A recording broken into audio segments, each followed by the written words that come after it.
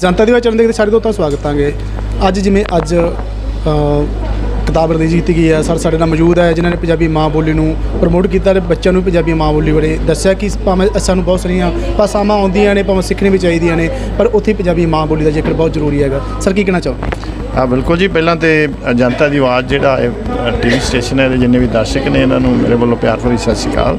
ਮੇਰਾ ਨਾਮ ਸੁਖੀ ਬਾਠਿਆ ਜੀ ਤੇ ਮੈਂ ਇੱਕ ਨਵਾਣਾ ਜਿਹਾ ਸੇਵਕ ਆ ਮਾਂ ਬੋਲੀ ਦੀ ਸੇਵਾ ਕਰਦਾ। ਤੇ ਮੈਨੂੰ ਸਾਰੇ ਆਪਣੇ ਜਿੰਨੇ ਦਰਸ਼ਕ ਨੇ ਉਹਨਾਂ ਨਾਲ ਸਾਂਝ ਪਾਉਂਦੇ ਨੂੰ ਖੁਸ਼ੀ ਹੈ ਕਿ ਅਸੀਂ ਇਹ 11 ਕੁ ਮਹੀਨੇ ਪਹਿਲਾਂ ਪ੍ਰੋਜੈਕਟ ਸ਼ੁਰੂ ਕੀਤਾ ਸੀਗਾ ਤੇ ਫਿਰ ਇਸ ਨੂੰ ਅਸੀਂ ਸਾਰੇ ਪੰਜਾਬ ਦੇ 23 ਜ਼ਿਲ੍ਹਿਆਂ ਦੇ ਵਿੱਚ ਲੈ ਗਏ। ਉੱਥੇ ਪੰਜ ਮੈਂਬਰੀ ਟੀਮ ਬਣਾਈ, ਫਿਰ ਹਰ ਜ਼ਿਲ੍ਹੇ ਨੂੰ ਚਾਰ ਚਾਰ ਕਿਤਾਬਾਂ ਦਾ ਬਜਟ ਦਿੱਤਾ। ਉਸ ਤੋਂ ਵੱਧਦੇ ਹੋਏ ਅਸੀਂ ਨਾਲ ਲੱਗਦੀਆਂ 6 ਜਿਹੜੀਆਂ ਸਾਡੇ ਪ੍ਰਾਂਤ ਨੇ ਪੰਜਾਬ ਨਾਲ, ਉਹ ਜੁੜ ਗਏ। 15 ਜ਼ਿਲ੍ਹੇ ਸਾਡੇ ਨਾਲ, ਪਾਕਿਸਤਾਨ ਤੋਂ, ਪੰਜਾਬ ਤੋਂ ਜੁੜ ਗਏ। ਫਿਰ Canada, America, England, Italy, Germany ਉਹ ਜੁੜ ਗਏ। ਸੋ ਸਾਡੇ ਕੋਲ 42 ਟੀਮਾਂ ਨੇ। ਸੋ ਇਸ ਵਕਤ ਅੱਜ ਜਿਹੜਾ ਇਹ ਸਮਾਗਮ ਹੋਇਆ ਹੈ ਬਰਨਾਲਾ ਜ਼ਿਲ੍ਹਾ ਦੇ ਵਿੱਚ, ਬਰਨਾਲਾ ਟੀਮ 2 ਦੇ ਵੱਲੋਂ, ਇਹਦੇ ਵਿੱਚ 90 ਰਚਨਾਵਾਂ ਬੱਚਿਆਂ ਦੀਆਂ ਖੁਦ ਲਿਖੀਆਂ ਹੋਈਆਂ ਨੇ ਤੇ ਇਸ ਦੀ 500 ਕਾਪੀ ਹਰੇਕ ਕਿਤਾਬ ਦੀ 500 ਵੋਲੀਅਮ ਵਿੱਚ ਛਪਦੀ ਹੈ। ਤੇ ਤੇ ਸਾਨੂੰ ਬੜਾ ਮਾਣ ਹੈ ਕਿ ਹੁਣ ਇਹ 36 ਕਿਤਾਬਾਂ ਰਿਲੀਜ਼ ਹੋ ਗਈਆਂ, ਜਿਹੜਾ ਕਿ ਸਾਡਾ ਟੀਚਾ ਹੈ ਕਿ ਨਵੀਆਂ ਕਲਮਾਂ ਨਵੀਂ ਉਡਾਨ ਭਾਗ 500 ਤੱਕ ਲੈ ਕੇ ਜਾਣਾ। ਸੋ ਵਾਹਿਗੁਰੂ ਅੱਲਾਹ ਤਾਲਾ ਭਗਵਾਨ ਜੀ ਮਿਹਰ ਕਰਨ ਤੇ ਅਸੀਂ ਆਪਣਾ ਕਾਰਜ ਕਰ ਸਕੀਏ। ਸਰ ਤੁਸੀਂ ਗੱਲ ਚੱਲਦੀ ਵਿੱਚ ਜ਼ਿਕਰ ਕੀਤਾ ਕਿ ਤੁਹਾਡੇ ਬੱਚੇ ਜਿਹੜੇ ਵੀ ਪੰਜ ਭਾਸ਼ਾਵਾਂ ਵੀ ਜਾਣਦੇ ਨੇ ਪਰ ਉਹ ਪੰਜਾਬੀ ਮਾਂ ਬੋਲੀ ਨੂੰ ਇੰਨਾ ਸੁੱਧ ਤੇ ਇੰਨਾ ਵਧੀਆ ਬੋਲਦੇ ਨੇ। ਹੋਰਾਂ ਨੂੰ ਕੀ ਕਹਿਣਾ ਚਾਹੋਗੇ ਜਿਹੜੇ ਆਪਣੇ ਸਿਰਫ ਸੌਰਤ ਵਾਸਤੇ ਅੰਗਰੇਜ਼ੀ ਯੂਜ਼ ਕਰਦੇ ਆ ਪੰਜਾਬੀ ਮਾਂ ਬੋਲੀ ਨੂੰ ਛੱਡ ਜਾਂਦੇ? ਹਾਂ ਬਿਲਕੁਲ ਜੀ ਮੈਂ ਵੈਸੇ ਇਹ ਦੱਸਦੇ ਨੂੰ ਮਾਣ ਹੀ ਆ ਕਿ ਮੈਨੂੰ ਆਲਮੋਸਟ 50 ਸਾਲ ਹੋ ਗਏ ਕੈਨੇਡਾ ਗਏ ਨੂੰ। ਤੀਜੀ ਪੀੜ੍ਹੀ ਮੇਰੀ ਜਵਾਨ ਹੋ ਗਈ ਹੈ। ਸੋ ਪਰ ਅਸੀਂ ਮੇਰੇ ਬੱਚੇ ਪੰਜ ਲੈਂਗੁਏਜ ਬੋਲਦੇ ਨੇ। ਉਹ ਡੱਚ ਬੋਲਦੇ ਨੇ ਫ੍ਰੈਂਚ ਬੋਲਦੇ ਨੇ ਇੰਗਲਿਸ਼ ਬੋਲਦੇ ਨੇ। ਨਾਲ ਦੀ ਨਾਲ ਜਿਹੜਾ ਸਾਡੀ ਐਫਰਟਸ ਰਹੀ ਆ ਬਾਹਰਲੇ ਮੁਲਕ ਜਾ ਕੇ। ਉਹ ਪੰਜਾਬੀ ਬੋਲਦੇ ਹੀ ਨਹੀਂ ਲਿਖਦੇ ਨੇ ਔਰ ਗਲਤੀਆਂ ਕੱਢਦੇ ਨੇ। ਫਿਰ ਪੰਜਾਬੀ ਪਹਿਰਾਵੇ ਦੀ ਗੱਲ ਕਰਦੇ ਨੇ। ਜਿਸ ਤਰ੍ਹਾਂ ਹੁਣ ਮੈਂ ਪੰਜਾਬ ਆਇਆ ਹਾਂ ਤਾਂ ਪਿੱਛੇ ਫੋਨ ਆਉਂਦੇ ਨੇ, ਪਾਪਾ, ਦਾਦਾ ਜੀ ਸਾਲੇ ਸ਼ਰਾਰਾ ਲੈ ਆਈ, ਸਾਡੇ ਲੰਮੀ ਗੁੱਤ ਲੈ ਆਈ, ਘੁੰਗਰੂਆਂ ਵਾਲੀ ਗੁੱਤ ਲੈ ਆਈ, ਪੰਜਾਬੀ ਜੁੱਤੀ ਲੈ ਆਈ। ਸੋ ਆਪਣੇ ਦਰਸ਼ਕਾਂ ਨਾਲ ਇਹ ਸਾਂਝ ਪਾਉਣੀ ਮੰਗਦਾ, ਬੱਚੇ ਨੂੰ ਇੰਗਲਿਸ਼ ਸਕੂਲ 'ਚ ਪੜਾਓ ਬੱਚੇ ਨੂੰ ਬਾਹਰਲੇ ਮੁਲਕ 'ਚ ਪੜਾਓ ਕੋਈ ਹਰਜ ਨਹੀਂ ਹੈ। ਪਰ ਮਾਂ ਬੋਲੀ ਦਾ ਆਪਣਾ ਫਰਜ਼ ਜ਼ਰੂਰ ਨਿਭਾਵੋ, ਇਹ ਘਰੇ ਹੀ ਹੋਣੀ ਆ, ਬੱਚੇ ਨੂੰ ਘਰ ਦੇ ਵਿੱਚ ਪੰਜਾਬੀ ਪਹਿ- ਪਹਿਰਾਵਾ ਪਾਉਣ ਦੀ ਕੋਸ਼ਿਸ਼ ਕਰੋ ਘਰ ਦੇ ਵਿੱਚ ਸਾਰੇ ਜਿਹੜੇ ਜੀ ਨੇ ਉਹ ਸਾਰੇ ਪੰਜਾਬੀ ਬੋਲਣ ਤੇ ਬਾਕੀ ਸਾਰੀਆਂ ਜਵਾਨਾਂ ਦਾ ਹੀ ਸਤਿਕਾਰ ਕਰੀਏ। ਸਰ ਤੁਸੀਂ ਅੱਜ ਬਰਨਾਲੇ ਆਏ ਹੋ। ਬਰਨਾਲੇ ਬੱਚਿਆਂ ਦਾ ਤੁਸੀਂ ਕੰਪੀਟੀਸ਼ਨ ਦੇਖਿਆ? ਕਿੱਦਾਂ ਲੱਗਿਆ? ਦੇਖੋ ਜੀ ਇਹ ਜਿਹੜੇ ਨੰਨੇ ਮੰਨੇ ਬੱਚੇ ਨੇ ਮੇਰੀ ਤਾਂ ਜਿਹੜੀ ਸੋਚ ਸੀ ਉਦੋਂ ਕਿਤੇ ਵੱਡੇ ਨਿਕਲੇ ਤੇ ਮੈਂ ਤੇ ਇਹਨਾਂ ਨੂੰ ਜਾਗ ਲਾਉਣ ਦੀ ਕੋਸ਼ਿਸ਼ ਕਰ ਰਿਹਾ ਸੀਗਾ। ਪਰ ਇਹ ਤੇ ਦਿਨਾਂ 'ਚ ਹੀ ਜਵਾਨ ਹੋ ਗਏ ਨੇ। ਇਹ ਸਾਡੀ ਦੂਸਰੀ ਕਿਤਾਬ ਹੈ ਹੋਰ ਜ਼ਿਲ੍ਹਿਆਂ 'ਚ ਵੀ ਦੂਜੀ ਕਿਤਾਬ ਰਿਲੀਜ਼ ਹੋ ਰਹੀ ਆ।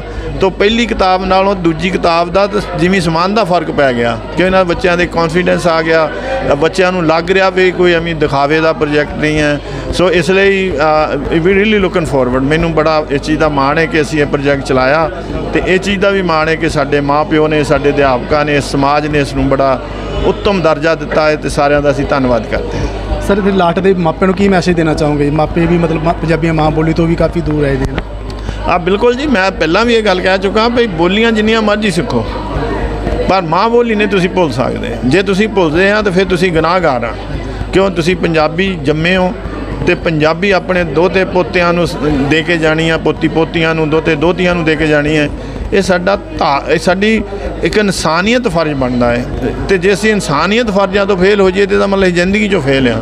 ਸੋ ਪਲੀਜ਼ ਸਾਰਿਆਂ ਨੂੰ ਹੰਬਲ ਰਿਕੁਐਸਟ ਹੈ ਕਿ ਪੰਜਾਬੀ ਬੱਚਿਆਂ ਨੂੰ ਜ਼ਰੂਰ ਸਿਖਾਓ ਲਿਖਣੀ ਸਿਖਾਓ ਸ਼ਾਮ ਨੂੰ ਬੱਚੇ ਨੂੰ ਗੋਦ ਵਿੱਚ ਲੈ ਕੇ ਪੰਜਾਬੀ 'ਚ ਉਹਨੂੰ ਕਹਾਣੀਆਂ ਸੁਣਾਓ ਊੜਾੜਾ ਲਿਖਣਾ ਸੁਣਾਓ ਕਾਰਟੂਨ ਪੰਜਾਬੀ 'ਚ ਲੈ ਕੇ ਦਿਓ ਉਹਨਾਂ ਨੂੰ ਕਾਇਦੇ ਲੈ ਕੇ ਦਿਓ ਪੰਜਾਬੀ ਦੇ ਪੰਜਾਬੀ ਦੀਆਂ ਕਿਤਾਬਾਂ ਪੜ੍ਹਨ ਉਹਨਾਂ ਨੂੰ ਲਾਓ। ਆ, ਤੇ ਮੈਨੂੰ ਕੋਈ ਇਹਦੇ ਵਿੱਚ ਦੋ ਰਹਿਮਾ ਨਹੀਂ ਮੈਂ ਖੁਦ ਇੱਕ ਐਗਜ਼ਾਮਪਲ ਆ।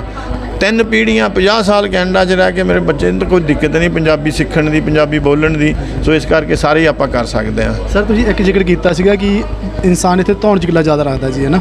ਤੇ ਵੀ ਉਹ ਮਤਲਬ ਝੁਕਣ ਦੀ ਬਜਾਏ ਰਿਸ਼ਤੇ ਤੋੜਨਾ ਪਸੰਦ ਕਰਦਾ ਗਿਆ ਜੀ, ਹੈ ਨਾ? ਇਹ ਜਿਹੜਾ ਆਪਣਾ ਨਾ ਪੱਖੂ ਸਮਾਜ ਹੈ, ਆਪਣਾ ਵਿਸ਼ਾ ਥੋੜਾ ਹੋਰ ਸੀਗਾ। ਪਰ ਇਹਦੇ ਤੇ ਤਾਂ ਆਪਾਂ ਬਹੁਤ ਵੱਡਾ ਸੈਮੀਨਾਰ, ਵੱਡੀ ਸਪੀਚਾਂ ਹੋ ਸਕਦੀਆਂ ਨੇ, ਵਾਰਤਾਲਾਪ ਹੋ ਸਕਦੀ ਹੈ ਇਹ ਤਾਂ ਆਪਾਂ ਨੂੰ ਮੰਨਣਾ ਪਏਗਾ ਕਿ ਅੱਜ ਦਾ ਸਮਾਜ ਨਾ ਪੱਖੂ ਹੈ। ਤੇ ਇਹ ਵੀ ਮੰਨਣਾ ਪਊਗਾ ਵੀ ਅਸੀਂ ਅਸੀਂ ਸੈਲਫਿਸ਼ ਹੋ ਗਏ ਹਾਂ। ਅਸੀਂ ਆਪਣੇ ਆਪ ਜੋਗੇ ਹੀ ਰਹਿ ਗਏ ਹਾਂ।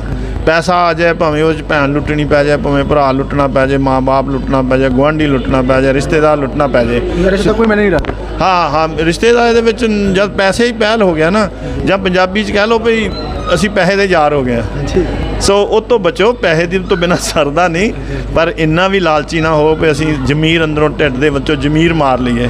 ਤੇ ਜੇ ਜ਼ਮੀਰ ਹੀ ਮਰ ਗਈ ਤਾਂ ਪੈਸੇ ਕਾਦੇ ਕੰਮ ਦਾ? ਜੀ। ਇਹ ਸੀਗੇ ਸਾਡੇ ਨਾਲ ਸੁਖੀ ਬਾਠ ਜੀ, ਜਿਨ੍ਹਾਂ ਦੀ ਅੱਜ ਜਿਹੜੀ ਕ- ਕਿਤਾਬ ਰਿਲੀਜ਼ ਹੋਈ ਹੈਗੀ ਨਵੀਂ ਕਲਮ ਤੇ ਨਵੀਂ ਉਡਾਨ। ਜਿਵੇਂ ਅੱਜ ਤੁਹਾਨੂੰ ਸਰ ਦੇ ਨਾਮ ਲਾਇਆ ਇਸ ਤਰ੍ਹਾਂ ਸਾਡੇ ਸਾਹਮਣੇ ਹੋਰ ਵੀ ਇਸੇ ਤਰ੍ਹਾਂ ਦੇ ਨਵੇਂ ਨਵੇਂ ਨਿਊਜ਼ ਲੈ ਕੇ ਫਿਰ ਹਾਜ਼ਰ ਹੋਵਾਂਗੇ। ਸਾਡੀ ਹਰ ਨਿਊਜ਼ ਦੇਖ ਲਈ, ਸਾਡੇ ਚੈਨਲ ਸਬਸਕ੍ਰਾਈਬ ਕਰਨਾ ਲਾਈਕ ਕਰਨਾ ਕਮੈਂਟ ਕਰਨਾ। ਫਿਰ ਮਿਲਾਂਗੇ ਇਸ ਤਰ੍ਹਾਂ ਦੀ ਖਬਰ ਲੈ ਕੇ। ਉਹਦੇ ਲਈ ਸਤਿ ਸ਼੍ਰੀ ਅਕਾਲ ਜੀ।